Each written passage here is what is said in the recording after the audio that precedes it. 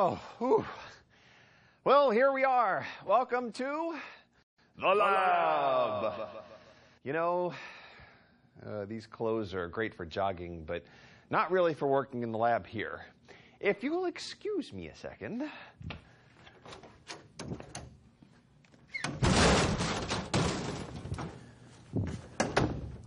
Ah, there.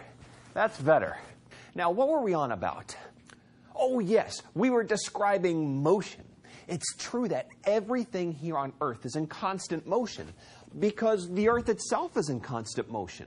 It's rotating on its axis and it's revolving around the sun at the same time. And even when you think you're sitting still, you've never really stopped moving. Well, we can describe the motion of things in many different ways.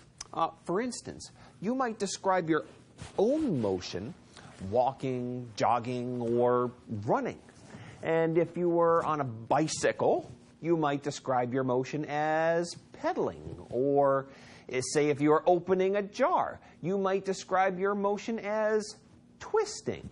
Well, with this ball, I could describe its motion as rolling along the ground, or bouncing, or flying through the air.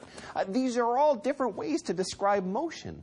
Well, scientists like to describe motion in ways that they are able to measure or take measurements. In other words, they like to quantify things, like speed. If you wanted to know how fast something was moving, you would need two different kinds of measures distance and time. Well, probably one of the most common measures of speed you're familiar with is the measure used when you're riding in a car or maybe on a bicycle. It's called miles or kilometers per hour. Miles or kilometers are the measure of distance. It's a pretty good distance. And the hour is the measure of time. Measures of speed are chosen to make the most sense of whatever they're trying to describe.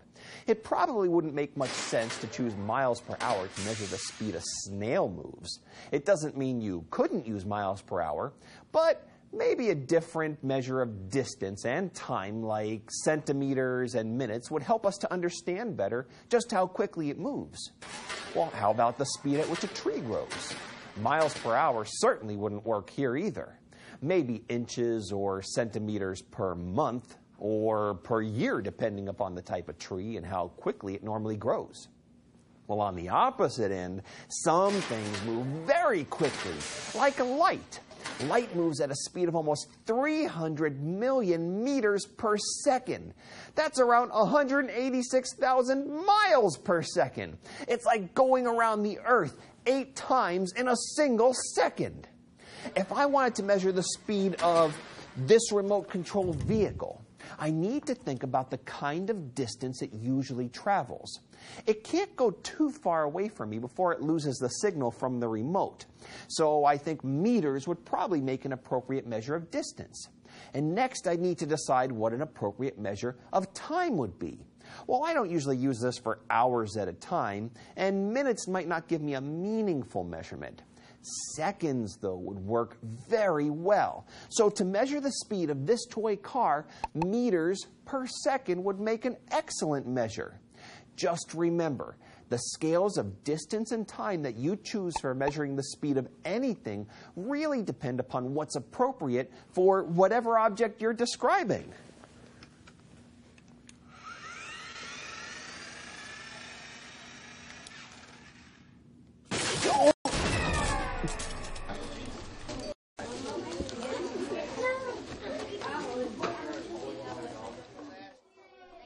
Try to sit as still as you can.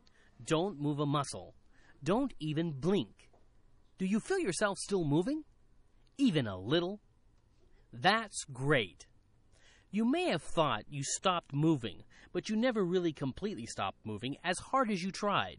Mobility is very important to people. We have places to go and people to see. It's possible to measure out your own speed of movement by using measures of distance and time. To calculate your own personal speed, you will need a meter stick to measure distance, a watch or stopwatch to measure time, two cones or markers of some sort, and a calculator. Place one of the cones on the ground as a starting point. Use the meter stick to measure out a distance of 50 meters and mark the end with the other cone. First, calculate your speed walking. To do this, have a friend stand at the far cone and time how long it takes you to walk the 50 meter distance. If you're using a stopwatch, just round off to the nearest second. Then use your calculator to divide the distance of 50 meters by the time it took you in seconds. This will be an average speed over the 50 meters, including speeding up and slowing down. Record your average speed for walking. Then repeat the test for jogging and running. Use the same method of dividing the 50 meter distance by the time it takes for each test and record the average speed for each. When finished, measure out each of the average distances you recorded. Does it seem like you went about that far in a single second? Try measuring your speed over different distances. Does your speed change if you only go 20 meters? How about if you go 100 meters? Now, the next time someone tells you to hurry up, surprise them by telling them your personal range of average speeds for walking, jogging, and running. Maybe then they'll understand just how fast you really are moving.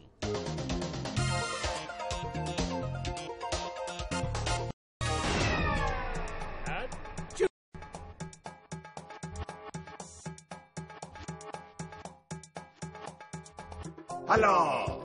I hope you have been well. It's me, your computer. Now, my friends, a question for you. Did you know that you can compare and graph your average speed while walking, jogging, running, and even skipping and jumping if you like on a computer like me? It is not difficult at all. Do you remember our old pal, the spreadsheet? You can use it to do it all. To begin with, open up a computer spreadsheet program like this one you see here on the screen.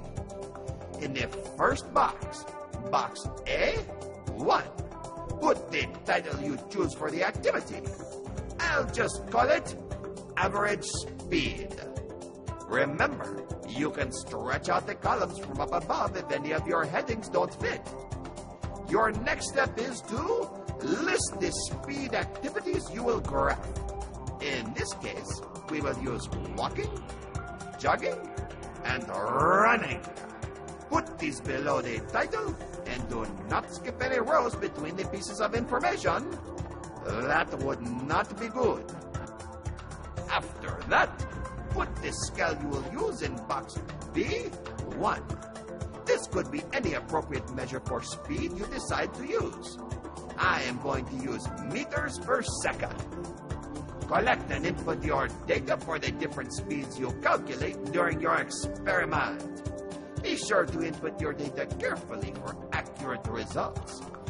When you are done inputting your data, highlight all the information you input by clicking and dragging over all the boxes that contain information.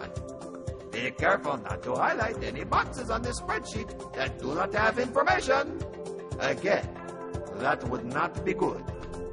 Find the option in your spreadsheet program that allows you to make a chart or graph. Use the option to make a bar graph of your data. You can use the graph to report your results or even help you design a new experiment. Oh boy, I have really outdone myself this time. I think I will print this one and frame it. It's just a mouse click away from masterpiece. Uh, speaking of mice, uh, what did one mouse say to the other, eh? He said, I really get a click out of you. get it? Like clicking a mouse on a computer? Ah, wait until my motherboard hears